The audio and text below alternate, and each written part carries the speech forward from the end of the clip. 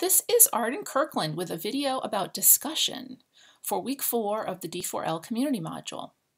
Remember your partner activity from week one in which you brainstormed some new ideas for alternative approaches to discussions online?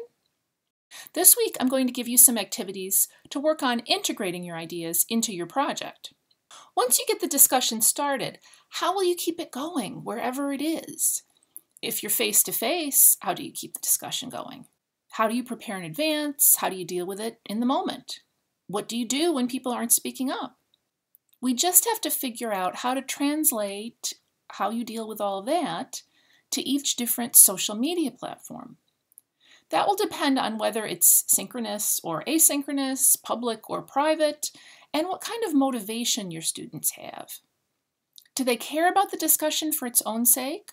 Or do they need to be lured in with the promise or threat of a grade? Think about all the different kinds of posts you might want to share as you reach for your learning objectives. There's a page in your workbook for you to check off all that could apply, and think about how they would be related to your instruction, or how you might just share them for fun as a way of letting your community get to know you better, or getting to know them. Which of them should be public or not? Then your next exercise is going to be to work on a schedule for discussion prompts. I'm showing a sample here of possible posts for this very class.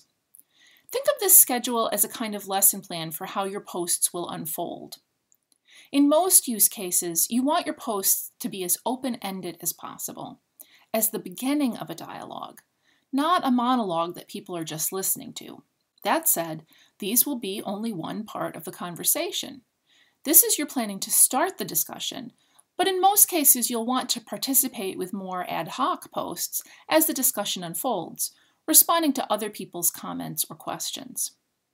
On many platforms, this will be very similar to the discussions on our Moodle forum. There are columns for media and links. With the more visual tools like Instagram and Pinterest, you'll need to think about what photos you can take or what visual resources you can share as a visual discussion prompt, and what captions or comments can help get the discussion going, using the comments section and hashtags. Visuals can really help to get people's attention, so you may even want to think about what visual resources you can link to from other kinds of posts, even in a forum, for example.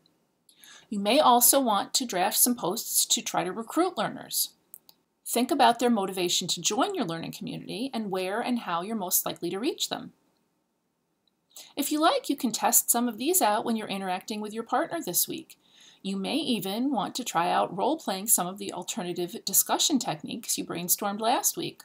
Along with length of posts, for different social media platforms, you need to be aware of expectations for frequency of posts on each. It can vary wildly depending on the platform you've chosen. For my sample, I chose Twitter, and I scheduled at least two posts a day based on the beginner level shown in this chart. This is a good guide to different levels of commitment, depending on your learning objectives, and of course, your avail availability to keep up with all of this. These are mostly for asynchronous discussions, putting out a post and getting responses gradually over a few days or a week. In some cases, you may want to use a synchronous platform or at least one that you can use in a synchronous way. For example, you might schedule a real-time class discussion in a Google Hangout, or in Second Life, or as a live Twitter chat. In that case, your frequency might be asking a new question of the group every 10 minutes or so, whatever is appropriate to your discussion. You still might have resources that you want to share or link to at different points in the discussion, so you can also indicate that in your schedule. Here's our donut example again. As you're drafting your discussion prompts for a couple of different platforms, you'll also need to think about the differences in tone.